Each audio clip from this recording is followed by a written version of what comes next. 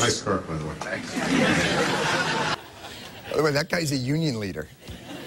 Weird world.